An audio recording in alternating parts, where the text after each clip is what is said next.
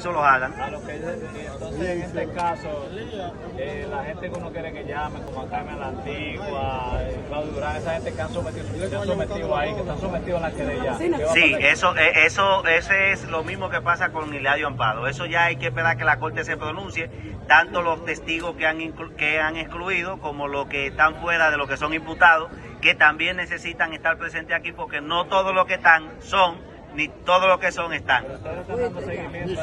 Claro que sí. Licenciado, yo entiendo algo. Dígame. Oye, yo entiendo algo por qué. Porque a él ahora no lo quiere recibir ni como imputado ni como testigo. Porque que usted Hay entiende. Edifique, no que usted entiende.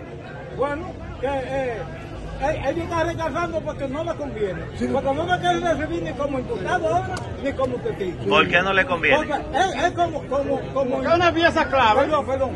Por- porque él como testigo. Puede mostrar evidencia. como imputado también. Sí, lo que, lo que tenemos, no, lo que tenemos que esperar es que la corte falle sobre ese particular. Hasta que la corte no falle, nosotros estamos atados de mano. Porque acuérdense que no somos jueces. Si dependiera de mí, a todito yo lo había tenido aquí, preso, con grillete puesto, claro. Si hubiese sido así, yo mismo lo traigo preso, pero no depende de nosotros, sino que depende ya del tribunal de la corte y hay que esperar que la corte falle. La, la pregunta de millón, ¿Cuál? la pregunta de millón. Si esa persona que son culpables igual que Puerto Real porque estimularon a la familia para la familia desangrarse económicamente, buscar papeles, pagarle a coordinadores, porque esos son parte del estúmero de la banda. ¿tú entiendes?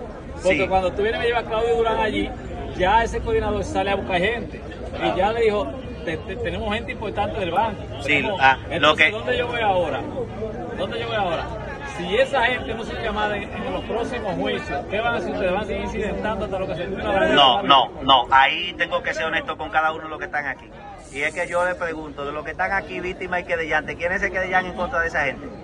Sí, yo tengo gente que... Ok, entonces, los que se querellaron en contra de esa gente son los que tenemos que motivar la acción en virtud de esa gente, porque son los que tienen calidad. El que no se querelló en contra de ellos, el Ministerio Público ni la policía tienen facultad para salir a buscar gente del cual no se querellaron. Por lo tanto, ahí te respondo diciéndote que las personas que se querellaron en contra de eso tienen que hacer una acción judicial para que esas personas sean incluidos dentro del proceso. A acercarse a uno para no decirle, ahora con este... Exactamente. Tu denuncia o tu querella para pasar al abogado. Pero ya la etapa ya la etapa preliminar se quitó. Esa es otra nueva querella que se tiene que reintroducir en virtud de eso para que se abra un nuevo proceso en contra de esos que se quedan fuera.